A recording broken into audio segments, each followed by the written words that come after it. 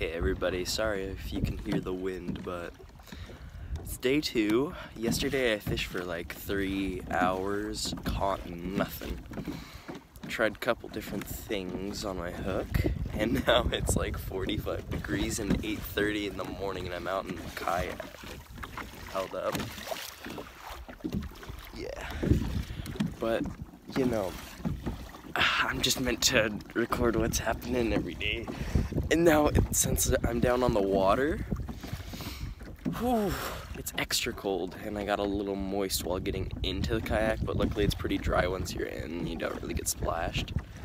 Uh, but I might be putting a time lapse in this video of like clouds moving across or uh, there's like some there's some mist uh, going that way uh, to my right so yeah, it's just coming across the lake. Might be able to get a good time lapse. It, it should warm up later today once the clouds go away. Because then the sun's gonna be out and you can just sit out on the water and it's gonna be super nice. But yeah, I'm gonna try fishing today again, see if I can actually catch one. Because after like hours of failed attempts, it's just, mm, it's disappointing, but oh, it's super windy now. Sorry about that.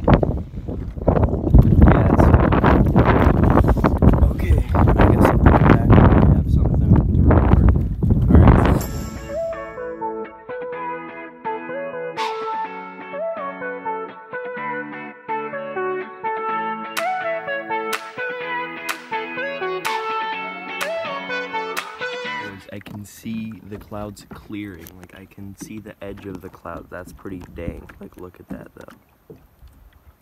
I you can also see the god lights coming in. Maybe that's just gonna be how it is for the rest of the day. I can see blue over there, so you know should be fun. I got a pretty good time lapse of the clouds, but I'll see how it looks after I look over this footage because I can't actually get it off phone doing this because iCloud's like, oh my god, you got to have it, you got to have Wi-Fi to get it out of iCloud. But then how is it going to the cloud? But okay, so yeah, pretty dang. Seeing the edge of the clouds, I just thought I'd add, put that in there because look, now you can see blue. Oh my god, this is pretty.